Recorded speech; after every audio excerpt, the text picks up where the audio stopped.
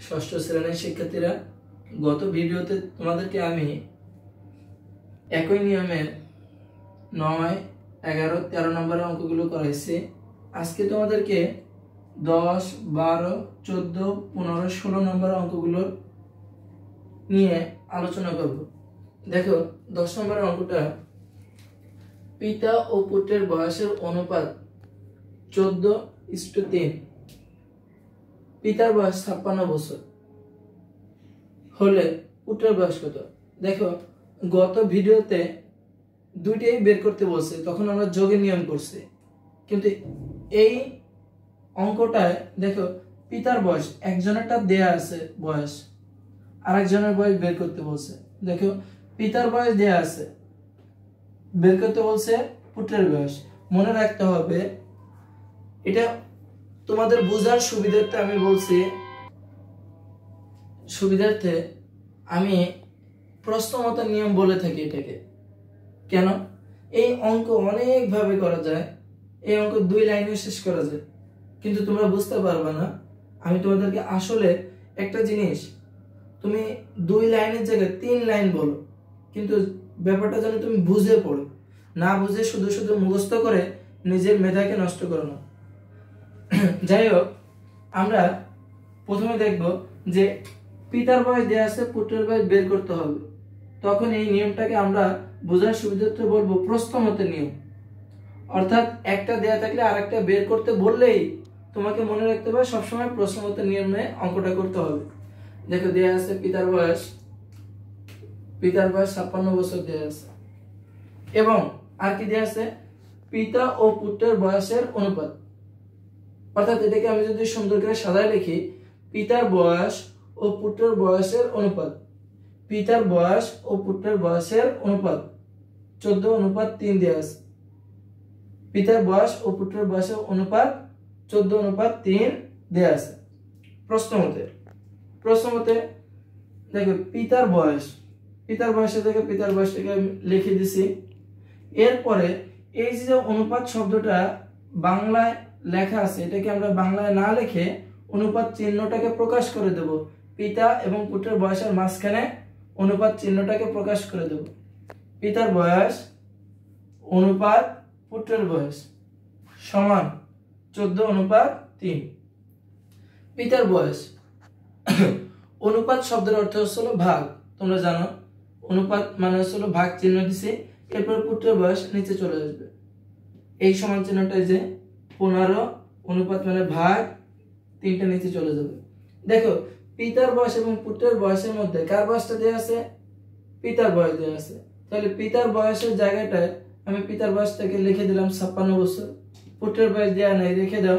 সমান চোদ্দ অনুপাত, চোদ্দ ভাগ তিন, যা আছে তাই। দেখো, আমরা একটু মনে রাখব, এখানে কার বয়সটা বের করব? পুত্রের বয়স। তাহলে পুত্রের বয়সটা নিচে আছে। এই পাশের নিচেরটার সাথে, এই পাশের উপরটার গুণ। আর এই পাশের উপরটার সাথে, এই পাশের নিচেরটার গুণ। এটাকে বলা হয় আর গুণন পদ্ধতি। তোমরা ক্লাস সেভেনে গেলে শিখতে পারবে বীজগণিতে। এই নিচেরটার সাথে নিচেরটার সাথে, এই পাশের উপরটার গুণ।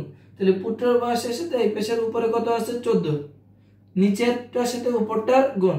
পুত্রের বয়সের সাথে চোদ্দর গুণ।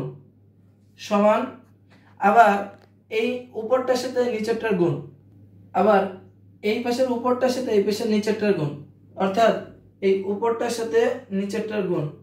তাহলে ছাপ্পান্নর সাথে তিন গুণ করলে একশো আটষট্টি। এই বছরটা এসে আমি আবার বলছি, এই নিচেরটার সাথে এই পাশের উপরটার গুণ। নিচেরটা হলো পুত্রের বয়স, তার সাথে এই উপরটা হলো চোদ্দ।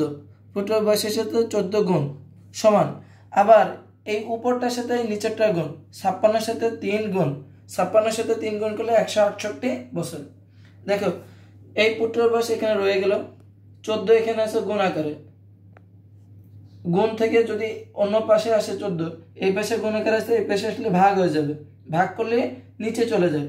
ভাগ হলে নিচে চলে যায়। একশো আটষট্টিকে চোদ্দ দিয়ে ভাগ করলে বারো বছর। অর্থাৎ পুত্রের বয়স বারো বছর, উত্তর বারো বছর। এখন আমরা তোমাদেরকে বারো নম্বরের অঙ্কটা করাবো। দেখো, বারো নম্বর অঙ্কটা দুইটি বইয়ের মূল্যের অনুপাত পাঁচ অনুপাত সাত। দ্বিতীয়টির মূল্য চুরাশি টাকা। হলে প্রথমটির মূল্য কত? ওই আগের মতোই। দ্বিতীয়টির মূল্য দেয়া আছে, অর্থাৎ একটার মূল্য দেয়া আছে আর একটার মূল্য বের করতে হবে। তোমাদেরকে বলছি, দুইটার মধ্যে একটার মূল্য যদি দেয়া থাকে আর একটার মূল্য যদি বের করতে হয়, সেটা কিসের নিয়ম? প্রশ্নগত নিয়ম। দেখো, তাহলে দেয়া আছে দ্বিতীয়টির মূল্য চুরাশি টাকা। যেটা দেয়া আছে, ওটাকে আমরা লিখে ফেলি যে দেয়া আছে দ্বিতীয়টির মূল্য চুরাশি টাকা। এবং প্রথমটির মূল্য ও দ্বিতীয়টির মূল্যের অনুপাত। একটু মনোযোগ দিয়ে যদি দেখো, দুইটি বইয়ের, কয়টি বইয়ের? দুইটি বইয়ের। তাহলে দুইটি বইয়ের মধ্যে একটা প্রথম বই থাকবে আর একটা দ্বিতীয় বই থাকবে।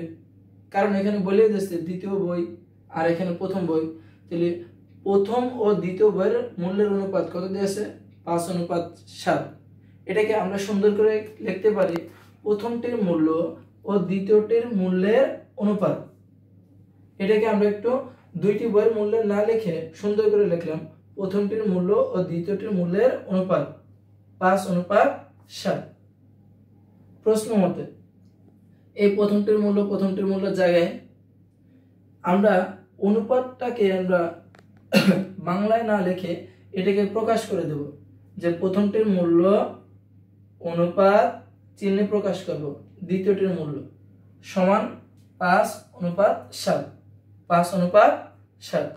বা প্রথমটির মূল্য অনুপাতের পরিবর্তে ভাগ হবে দ্বিতীয়টির মূল্য, ভাগ হলে দ্বিতীয়টি নিচে চলে যাবে। সমান চিহ্ন সমান চিহ্ন জায়গায় সাত, এই অনুপাতের পরিবর্তে ভাগ সাত নিচে চলে যাবে। এখন দেখো, আমরা, আমাদের দেয়া আছে কোনটা? দ্বিতীয় বই দেয়া আছে। তাহলে প্রথম বই প্রথম বইয়ের জায়গায় থাকবে, আর দ্বিতীয় বইয়ের জায়গায় কত হবে? চুরাশি টাকা। দ্বিতীয় বইয়ের জায়গায় চুরাশি টাকা। সমান পাঁচ ভাগ সাত। এখন মনে রাখতে হবে, এখানে আমার বের করতে হবে কোনটা? প্রথম বইটির মূল্য। তাহলে যেটা বের করতে হবে, ওটাকে আগে গুণ করতে হবে। যেটাকে বের করতে হবে, ওটাকে আগে গুণ করতে হবে। এখানে বের করতে হবে পাঁচ, না, সাত, না, চুরাশি টাকা, না, এটাও বের করতে হবে না। কোনটা বের করতে হবে? প্রথমটির মূল্য। তাহলে প্রথমটির মূল্য উপরে আসবে তাহলে এই উপরটার সাথে এই পাশের নিচেরটার গুণ।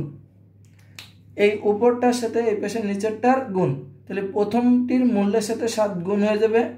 সমান চিহ্ন সমান চিহ্ন জায়গায় আবার এই নিচেরটার সাথে এই পাশের উপরটার গুণ হবে। এই নিচেরটার সাথে নিচেরটা কত? চুরাশি। এই চুরাশির সাথে এই পাশের উপরটার কী যাবে? গুণ। চুরাশির সাথে পাঁচ গুণ করলে চারশো বিশ, আর এখানে টাকা আছে তাই টাকা। চুরাশির সাথে পাঁচ গুণ করলে চারশো বিশ টাকা। দেখো, এখানে সাত গুণ আকার আছে। এই পাশে আসলে সাত কী যাবে? ভাগ। সাত ভাগ হলে সাত কোথায় চলে যাবে? নিচে। তাহলে প্রথমটির মূল্য চারশো বিশ, সাত এখানে ভাগ হয়ে যাবে, তাহলে টান দিয়ে সাত লেখো। প্রথমটির মূল্য, চারশো বিশকে সাত দিয়ে ভাগ করলে ষাট টাকা। উত্তর, ষাট টাকা। এখন আমরা তোমাদেরকে এই অধ্যায়ের দেখো, চোদ্দ নম্বরটা তোমরা নিজেরা করে এস ডাব্লিউ আমাকে আমাদের, অর্থাৎ চোদ্দ আর পনেরো তোমাদেরকে এইচ ডাব্লিউ তোমরা আমাদের ভিডিওর কমেন্ট বক্সে অঙ্কটা করে বলো যে উত্তর কত হয়েছে। উত্তরটা চোদ্দ, পনেরো তোমাদেরকে এইচ ডাব্লিউ উত্তরটা এইচ ডাব্লিউ করে বলো উত্তরটা কত হয়েছে। আর যদি না পারো, সেটাও আমাদেরকে জানাও। না পারলে আমরা অঙ্ক যেটা না পারব আমরা করে দেব। এখন দেখো আমরা তোমাদেরকে ষোলো নম্বরটা শেখাবো।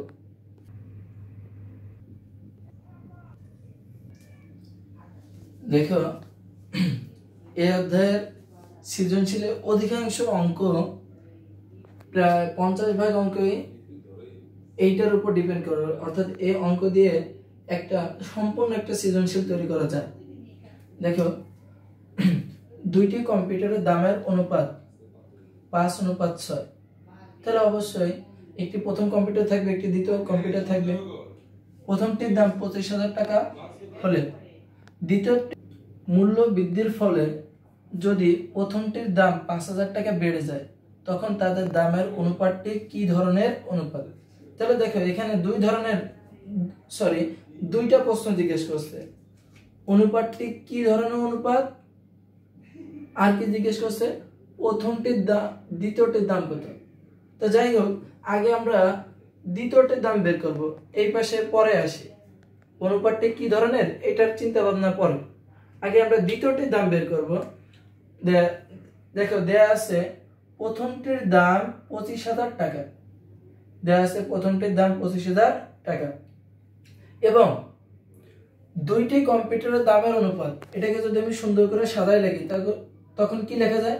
প্রথমটির দাম ও দ্বিতীয়টির দামের অনুপাত, পাঁচ অনুপাত ছয়। দেখো, প্রথমটির দাম ও দ্বিতীয়টির দামের অনুপাত, পাঁচ অনুপাত ছয়। প্রশ্ন মতে দেখো, প্রথমটির দাম প্রথমটির দামের জায়গায়, প্রথমটির দাম প্রথমটির দামের জায়গায়। এই অনুপাত শব্দটাকে আমরা বাংলায় না বলে চিহ্নে প্রকাশ করে দেব। প্রথমটির দাম অনুপাতটাকে বাংলায় না লিখে চিহ্নে প্রকাশ করে দেব দুইটার ভিতরে। অনুপাতটা দুইটার ভিতরে হবে। এরপরে কি আছে? দ্বিতীয়টির দাম সমান পাঁচ অনুপাত ছয়। বা, প্রথমটির দাম এই অনুপাতের পরিবর্তে ভাগ চিহ্ন হবে, এরপরে হবে দ্বিতীয়টির দাম। সমান চিহ্ন থেকে সমান চিহ্ন, পাঁচ উপরে থাকবে, অনুপাতের পরিবর্তে ভাগ, নিচে কত হবে? ছয়। দেখো, এখন প্রথমটির দাম এবং দ্বিতীয়টির দামের মধ্যে দেয়া আছে প্রথমটির দাম। তাহলে প্রথমটির দামের জায়গায় লিখব পঁচিশ হাজার টাকা। প্রথমটির দামের পরিবর্তে লিখব পঁচিশ হাজার টাকা। দ্বিতীয়টির দাম দেয়া নেই, তাহলে দ্বিতীয়টির দামকে যেখানে আছে সেখানে রেখে দাও। নিচে আছে, নিচেই রেখে দাও। সমান। এখানে যা আছে, এখানেও সেম এখন দেখো, বের করতে হবে দ্বিতীয়টির দাম। তাহলে দ্বিতীয়টির দাম আছে নিচে এই পাশের নিচেরটার সাথে এই পাশের উপরটার গুণ করতে হবে। নিচেরটার সাথে উপরটার গুণ করো। অর্থাৎ দ্বিতীয়টির দামের সাথে পাঁচকে গুণ করতে হবে। সমান চিহ্ন। আবার এই পাশে উপর আছে পঁচিশ হাজার। এই উপরেরটার সাথে এই পাশে নিচেরটার গুণ করতে হবে। অর্থাৎ পঁচিশ হাজারের সাথে ছয় গুণ করতে হবে। পঁচিশ হাজারের সাথে ছয় গুণ করলে এক লক্ষ পঞ্চাশ হাজার। এখানে টাকা আছে, তাই টাকা লিখতে হবে। আমি আবার বলছি, বের করতে হবে দ্বিতীয়টির দাম। দ্বিতীয়টির দাম নিচে আছে। এই পেশের নিচেরটার সাথে এই পেশের উপরের পাঁচ কি হয়ে যাবে? গুণ। অর্থাৎ দ্বিতীয়টির দামের সাথে পাঁচ গুণ সমান। এই উপরে পঁচিশ হাজারের সাথে টাকার সাথে ছয় গুণ করলে এক লক্ষ পঞ্চাশ হাজার টাকা। দ্বিতীয়টির দাম, এখানে পাঁচ গুণ আকার আছে, এ আসলে ভাগ পাঁচ হয়ে যাবে, অর্থাৎ পাঁচটা নিচে চলে যাবে। দ্বিতীয়টির দাম, এক লক্ষ পঞ্চাশ হাজারকে পাঁচ দিয়ে ভাগ করলে তিরিশ হাজার টাকা। এখন আমাদেরকে আরেকটা প্রশ্ন বলছে, মূল্য বৃদ্ধির ফলে যদি প্রথমটির দাম পাঁচ হাজার টাকা বেড়ে যায়, কার দাম বেড়ে গেছে? প্রথমটির দাম। তাহলে দেখো, আগে প্রথমটির দাম কত ছিল? পঁচিশ হাজার। আরও বেড়ে গেছে কত? পাঁচ হাজার। তাহলে প্রথমটির দাম এখন হবে কত? পঁচিশ হাজার যোগ পাঁচ হাজার। তাহলে তিরিশ হাজার হবে। যদি প্রশ্নে এখানে বেড়ে যাওয়ার পরিবর্তে হ্রাস দিত বা কমে যায়, তখন কি করতাম? বিয়ে করতাম। এখানে বেড়ে যায় বলছে এই জন্য যোগ করব। দেখো, পাঁচ হাজার টাকা দাম বেড়ে যায়, প্রথমটির দাম হবে। পাঁচ হাজার টাকা দাম বেড়ে যায়, প্রথমটির দাম হবে। প্রথমটির দাম আগে ছিল পঁচিশ হাজার আরও পাঁচ হাজার বেড়ে গেছে, তাই তিরিশ হাজার। আমাদের কোশ্চেনে বলছে, তাদের দামের অনুপাতটি কি ধরনের অনুপাত? তাহলে তাদের দাম মানে কি? প্রথমটির দাম ও দ্বিতীয়টির দামের অনুপাত। তাহলে দ্বিতীয়টির দাম তো আমি জানি তিরিশ হাজার, আবার প্রথমটির দামও জানি তিরিশ হাজার, অতএব এদের দামের অনুপাত। প্রথমটির দাম তিরিশ হাজার, অনুপাত দ্বিতীয়টির দাম তিরিশ হাজার। এই তিরিশ হাজার অনুপাতের পরিবর্তে ভাগ চিহ্ন অনুপাতের পরিবর্তে ভাগ চিহ্ন এই তিরিশ হাজার নিচে চলে যাবে। দেখো, তিরিশ হাজারকে তিরিশ হাজার দিয়ে যদি ভাগ করি, উপরে থাকে এক। আবার তিরিশ হাজারকে তিরিশ হাজার দিয়ে ভাগ করলে কত হবে? এক। তাহলে উপরে এক, নিচে এক। এক, এই ভাগের পরিবর্তে অনুপাত চিহ্ন নিচের এক। মনে রাখবে, আমি তোমাদেরকে প্রথম ভিডিওতে অনুপাতের প্রাথমিক ধারণা যখন দিছি, তখন বলছি, অনুপাতের প্রথমটাকে বলা হয় পূর্ব রাশি আর দ্বিতীয় অংশটাকে বলা হয় উত্তরাশি পূর্ব রাশি এবং উত্তর রাশি যদি সমান হয়, তখন সেই অনুপাতকে বলা হয় একক অনুপাত, অর্থাৎ একই। পূর্ব রাশি এবং উত্তর রাশি যদি একই হয়, তখন তাকে বলা হয় একক অনুপাত। তাহলে উত্তর, উত্তরে চাইছে দুটা প্রশ্ন করছে যে দ্বিতীয়টির দাম কত? দ্বিতীয়টির দাম তিরিশ হাজার এবং অনুপাতটি কি ধরনের? একক অনুপাত। দেখো, শিক্ষার্থীরা আমি তোমাদেরকে অনুপাত অধ্যায়ের অঙ্কগুলো করাই দেওয়ার চেষ্টা করছি। তোমরা অঙ্কগুলো খুব মনোযোগ দিয়ে খাতা কলম নিয়ে, সামনে বই নিয়ে, মূল বই নিয়ে এগুলো করার চেষ্টা করো এবং খুব আগ্রহ নিয়ে আমার কথাগুলো শোনো, লেখা দেখো এবং এই এইচ ডাব্লিউ দুইটা তোমরা করে এই ভিডিওর কমেন্ট বক্সে উত্তরটা লিখে দাও। আমি কারেকশন করে দেব, যদি কারও ভুল যায়, আর সঠিক হলে ওকে লিখে দেব। এবং তোমরা যদি না পারো, তাও আমাকে লিখো। সুস্থ থাকো, ভালো থাকো, আল্লাহ হাফিজ।